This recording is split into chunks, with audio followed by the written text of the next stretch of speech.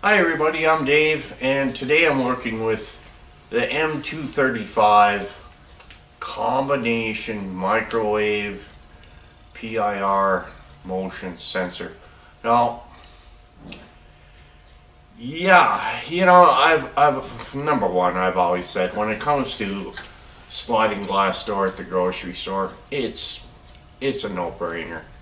But when you're dealing with a swing door, it gets tricky you, you do have to fuss around a little bit.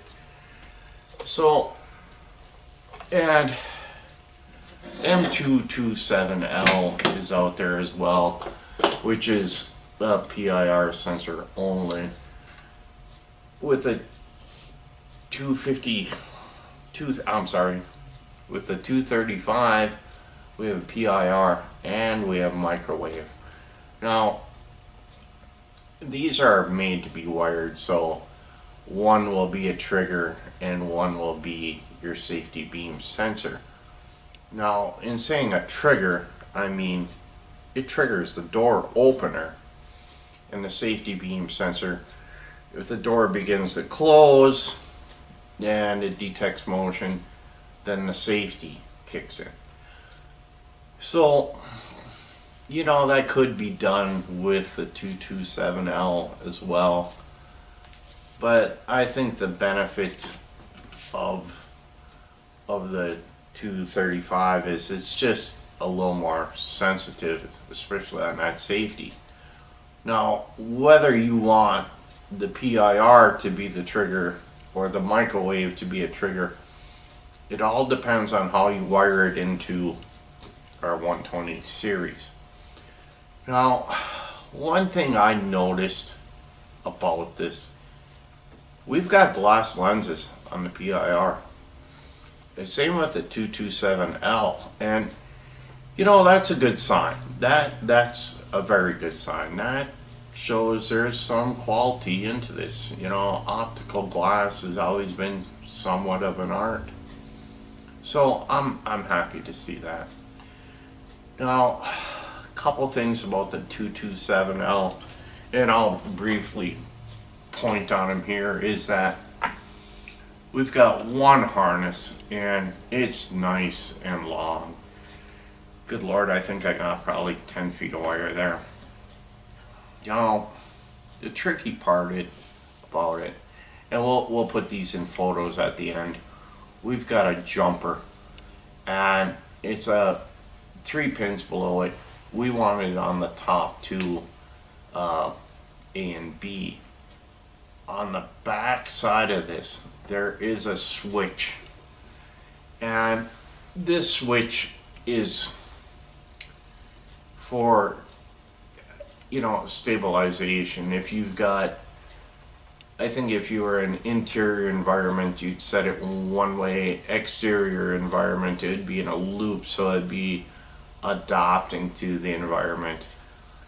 I'm not quite certain on that, and I don't really have an outside door I can play with at this point.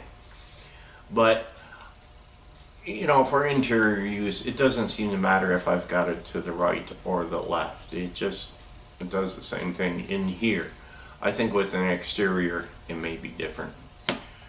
Now, I, I do have the lens off of this, and of course it does have a cover. Um, we're going to include some wiring diagrams on the end of the video as to how this can be wired. Eh, notably two different ways. So with our 120 series, you know, as always, uh, when you first fire up you want the door to close. So we open halfway and this side will be our door closed position. Yes, it does go immediately to the closed position. Now, for the trigger, now I've, I've triggered the door. I've caused the door to open. And first cycle slow, keep that in mind. now when it comes to close, I'm going to activate the safety. and it backs up. Now, residential, I don't know, it's not so critical, but if you get into high volume environment, especially a hospital, clinic, you know, civic buildings, I really think more people should be putting these out there. You know, and the price is there a little bit, but when you consider what a lawsuit costs these days, oh my god. Buy the safety beam sensor. And the other thing is too with smaller rural areas, people aren't accustomed to automatic doors. And they want to close the door. And yeah, I understand. I grew up in northern Minnesota. Day one, shut the damn door. But yeah, but people are accustomed to motion sensors, or if the door automatically opens, they get it. And it's an automatic door and they leave it alone. So, you know, if you're in a smaller town and you're introducing a motion sensor, uh, or a, I'm sorry, a door opener, it's good to have that motion sensor. And your 120 series will last a whole lot longer.